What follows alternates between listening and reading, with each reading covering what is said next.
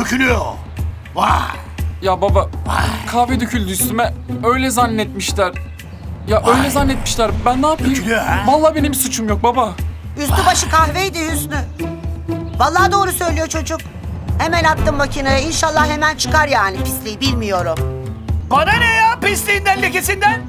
Arabaya mı döküldü kahve? Evet. Ya Merve ile de kavga ettik. Bıraktım onu yarı yolda döndüm. Tadım kaçtı benim de ya. Vah vah vah vah vah ya. Bütün gün evden çıkmadı baba. Araba nerede? Kapıda. Kahve? Döküldü. Nereye? Üstüme başıma bir de arabaya işte. Sen ne yaptın? Hiç. Nazike. Bir çay daha versene sana zahmet. Vereyim Hüsnü. Dışarıya getiriversin işimiz var. Biz de gelelim baba.